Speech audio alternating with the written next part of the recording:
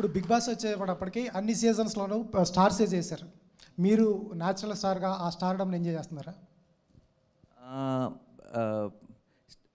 Sorry నాకు question అర్థం కదా సీజన్స్లో అందరూ టాప్ స్టార్స్ చేశారు. సల్మాన్ కావచ్చు తారక్ కావచ్చు కమల్ సార్ కావచ్చు. అవును. న్యాచురల్ న్యాచురల్ స్టార్కి వచ్చిన ఇప్పుడు ఈ స్టేటస్ ఎంజాయ్ చేస్తున్నారా స్టార్డమ్ నేను I'm not really looking at it as status or anything అండి అంటే నాకు చాలా పెద్ద రెస్పాన్సిబిలిటీగా నమ్ముతున్నాను. ఎందుకంటే నాకు ఫస్ట్ నుంచి ప్రేక్షకులతో నేను చేసే సినిమా కానీ ఏదైనా సరే ఒక ఒక ఫ్యామిలీకి అందరూ కూర్చొని చూడగలిగే ఒక క్లీన్ ఎంటర్టైన్మెంట్ అనేది నేను ఎప్పుడు నమ్మిన ఒక ఫిలాసఫీ. సో ఈరోజు జనరల్గా మనం బయట మాట్లాడుతున్నా సరే బిగ్ బాస్ విషయంలో కానీ ఏదో ఒక డౌట్ ఎవరో ఒకరు మెన్షన్ చేస్తుంటారు. ఏంటి ఇప్పుడు ఏదో ఎవరెవరు గొడవ పట్టడం గురించి కానీ ఏదైనా. సో ఈ రోజు నేను ఇంకా ఎక్కువ బాధ్యతగా నమ్ముతున్నాను దీన్ని more than a status that we have to make it very ఏమంటారు రేపు మా ఇంట్లో నాకు తెలుసు నేను ముందు నేను చేస్తున్నానని చెప్పి మా ఇంట్లో మా అమ్మ అందరూ కూర్చొని టీవీ చూస్తారని నాకు తెలుసు.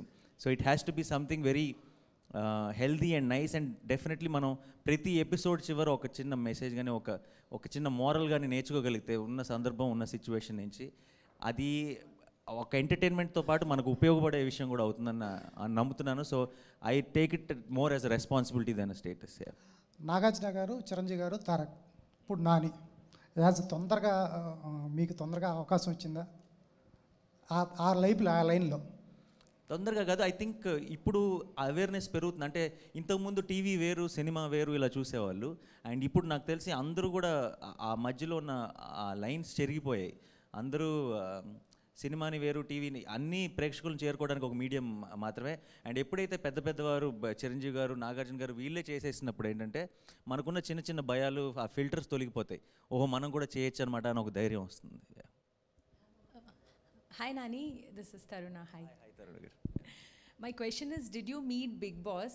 ఎలా ఉంటారు బిగ్ బాస్ నేను నేను అసలు నేను నాకు మొదలెట్లేదండి షో ఇంకా అండ్ బిగ్ బాస్ దాకా వెళ్ళలేదు ఇంకా ఇన్ఫ్యాక్ట్ ప్రాపర్ షో గురించి నాకు ఇంకా రేపో ఎల్లుండో మొత్తం టీం అందరూ బ్రీఫింగ్ ఇవ్వబోతున్నారు. నేను చేయాల్సిన పనులు ఏంటన్నది. సో ఆ తర్వాత మేబీ బిగ్ బాస్ని కలిసే ఛాన్స్ Yeah.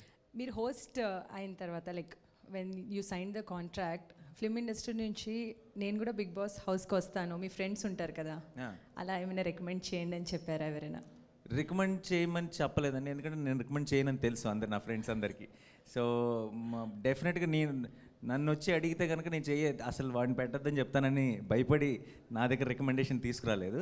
బట్ ఆ యుఫోరియా అయితే చూశానండి. ఏంటి ఈ- షోకున్న క్రేజు ఈ షో అంటే ప్రతి ఎక్కడికి వెళ్ళినా సరే ఈ షో గురించి మాట్లాడటం లేదంటే వాళ్ళ ఎక్సైట్మెంట్ ఈ పార్టిసిపెంట్లు ఎవరైనా తెలుసుకోవాలన్న ఇంట్రెస్ట్ ఇవన్నీ చూస్తుంటే ఏంటి ఇంత పాపులరా షో అని షాక్ అయ్యాను నాన్నగారు మూవీ ప్రెజర్ తీసుకోవడం ఈజీయా టెలివిజన్ షో ప్రెజర్ తీసుకోవడం ఈజీయా మూవీ ఇట్స్ నెవర్ ఈజీ అండి. అది నాకు ఆల్రెడీ తెలుసు. ఇది ఇప్పుడిప్పుడే తెలుస్తుంది.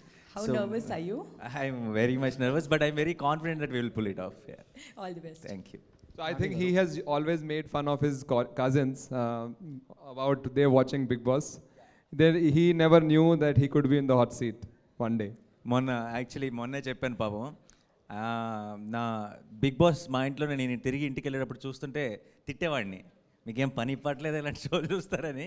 అలాంటిది look at the god screenplay అంటారు కదా నన్నే తీసుకొచ్చి అక్కడ నుంచో పెట్టారు Bigg Boss thanks for watching for more interesting updates don't forget to subscribe Filmy Looks